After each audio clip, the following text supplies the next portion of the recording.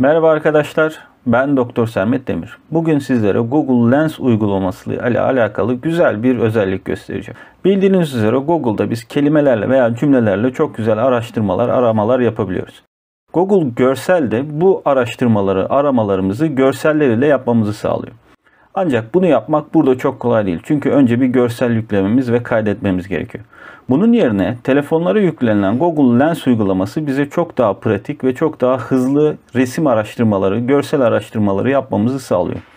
Benim bugün size göstereceğim bu uygulama üzerinden şu gördüğünüz yazıyı doğrudan bilgisayara hızlı bir şekilde, verimli bir şekilde nasıl kopyalayabileceğiniz. Şu an burada Küçük Prens'in Google e-booklardan, Google e-kitaplardan açılmış bir sayfasını görüyorsunuz. Google normalde bunu size kopyalamanıza izin vermez.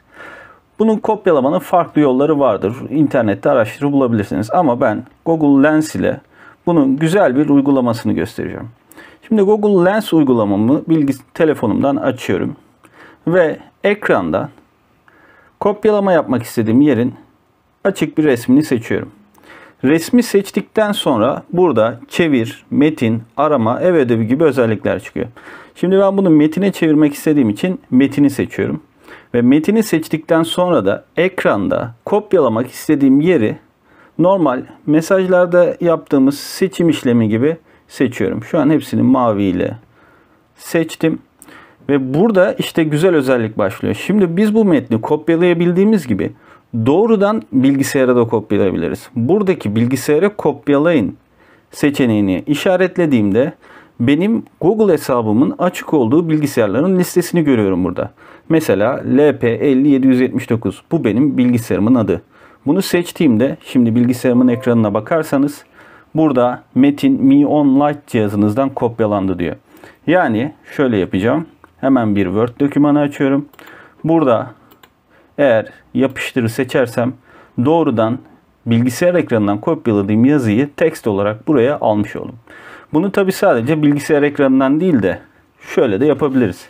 Mesela elinizde bir metin var. Yazmanız gerekiyor ama soft hali yok. Burada da uluslararası bir standartla alakalı bir yazı var. Aynı şekilde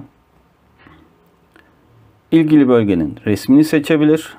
Sonra istediğiniz kısmın buradan seçimini yaptıktan sonra seçimini yaptım. Yine aynı şekilde metin seçili bilgisayara kopyalayın dediğimde bakın bilgisayarı seçtiğim anda hemen geldi ve tekrar yapıştıra bastığımda scope this international standard specifies diye başlıyor ve devam ediyor. Böylelikle yazmanız veyahut da bir yerden kopyalamanız gereken resim veyahut da bir görsel üzerindeki yazıyı çok hızlı bir şekilde bilgisayarınıza aktarabilirsiniz.